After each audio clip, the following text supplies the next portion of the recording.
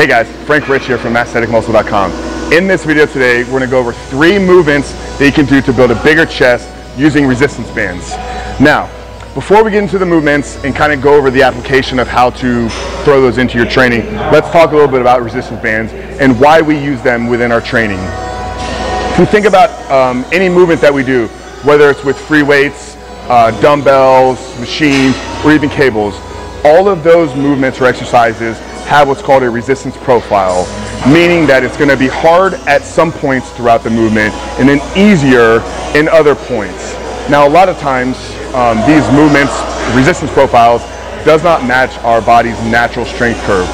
So what that means is where we are usually strongest, the movement's going to be easier, and where we are weakest, the movement is more most times going to be uh, harder.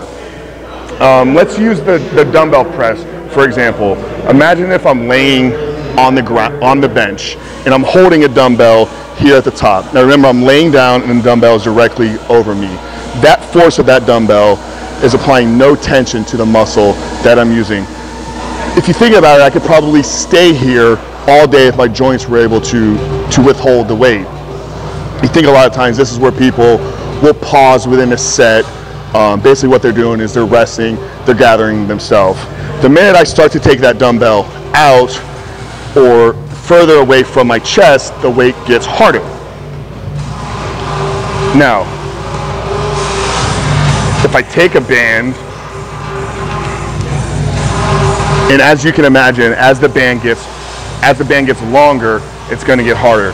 So if I have a band attached behind me, as I extend it up, where I'm where I'm stronger um, and, the, and the dumbbell is lighter, the band is going to add force to that. So what that's doing is that's manipulating that strength curve, matching my body's natural, I'm sorry, manipulating the resistance profile, matching my body's natural strength curve.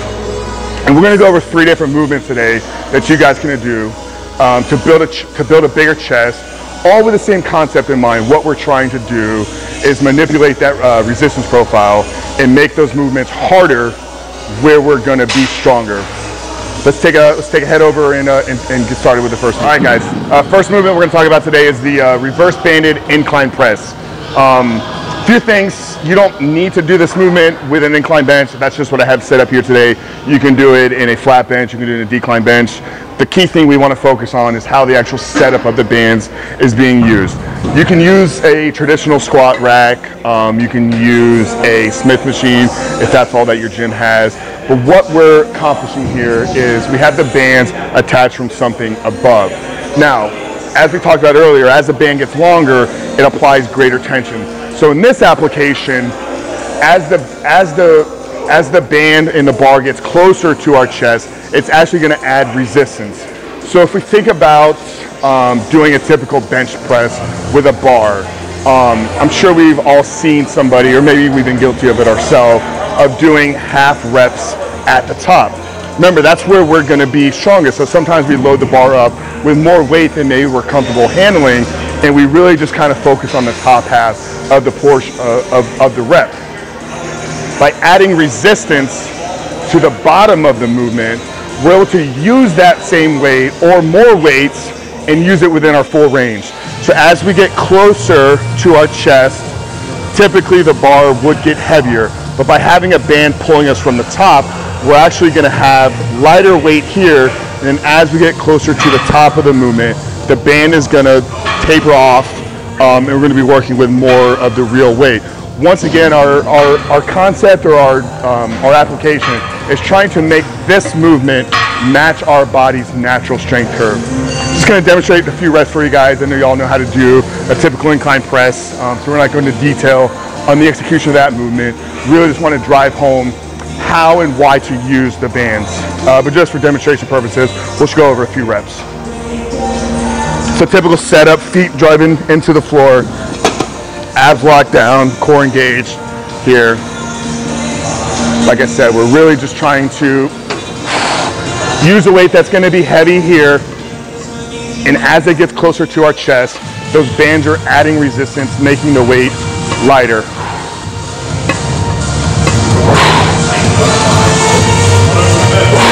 So we're able to work within the full range of motion. That's it, guys. We're gonna move on to the next one. Um, but add this in, um, typically, say at the, the, the beginning of, of a workout is something you wanna be able to produce maximum effort and output. All right, guys, next move we're gonna go over is the dumbbell press. Um, now, just like over there with the incline press that I did, this movement does not have to be done using a flat bench. Um, you can do an incline dumbbell press, you can do a decline dumbbell press. I just opted to use a flat bench because I showed you guys an incline press uh, first. Here we're gonna do um, the band behind our back. So as we discussed at the beginning of the video, what we're trying to do is make the band add tension to the movement when we're here at the top. So the setup for this is gonna be real simple. Simply take a band, cross it in your hands here. I like to have a, a, a cross band. I just feel it helps keep the band from slipping. Um, but you can test with it and find out what works best for you. From here, you're gonna wanna cross it at the top of your back uh, mid, mid trap, um, and then keep the band here dropping right underneath the deltoid. Taking your bands just like your, I'm sorry, taking your dumbbells just like you would with a typical press here. Get set in position, feet locked down. Okay, and like I said, our goal is to make that movement match our strength profile. So here, as it gets down at the bottom, the dumbbells are really, really heavy. The band is not adding that much force. As we get closer to the top though, those dumbbells are dropping off and the band is actually adding the tension.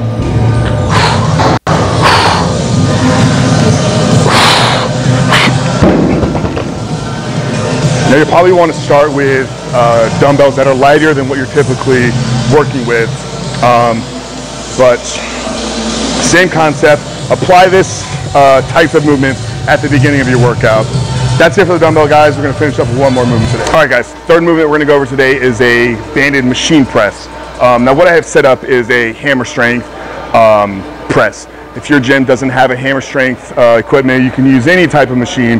But once again, our goal or what we're trying to accomplish is making that movement match our body's uh, natural strength curve. So we're trying to get harder up here and easier down here. So you can see as the way I have set the band up, as this gets pressed up, the band is going to add more tension to the movement. Um, so that's what we're trying to accomplish. So play with different types of machines with whatever your whatever your gym offers. Um, but most gyms nowadays have some type of hammer strength equipment. I think it's the easiest to set it up just because it gives you these options to add the resistance bands to. Um, same concept though, we're just gonna you know, just go through the movement as we normally would. So getting set here, and then as we press up, that band is adding resistance to the movement.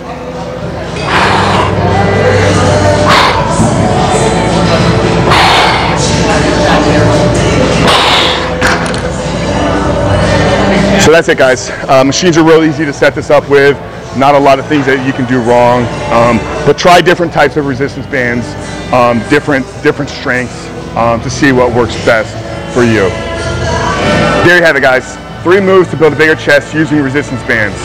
Now, as far as the application, I do recommend picking one of the three and using those um, within a given workout. Don't try to do all three within one. That's going to be too much overload, too much work on the chest. But pick uh, pick one um, and rotate them in and out throughout your workouts.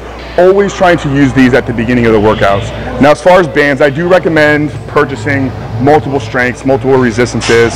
Um, I have a band set of about 12. Um, I got these on EliteFTS.com. Um, it's not a plug. Um, I'm not sponsored or endorsed by them, but it's just what I feel has been the best option for me.